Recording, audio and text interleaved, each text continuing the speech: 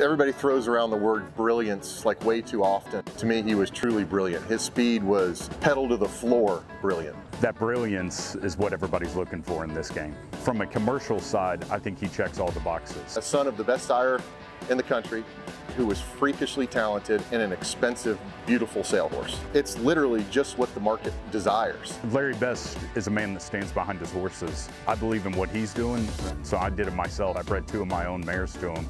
He's gorgeous, powerful, you know, looks the part, looks like he should have been an early two-year-old like he was, and so far looks like he's passing that on. They look to me cookie cutter into mischief. They are the lighter bay with the white. I like the progeny to look like the sire, and um, they're certainly getting that done. Big, strong, has the white blaze like Instagrand has. A lot of quality, a lot of stretch. She represents a stallion very well. All his good attributes, very correct, and a, quite a body on her.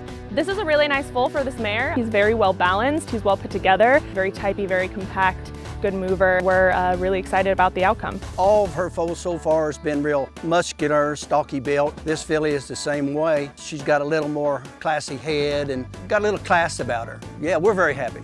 Instagrand is a horse that I would consider breeding back to. If all his foals look like that, uh, I think he'll do quite well. We've already bred two mares back to Instagrand this year.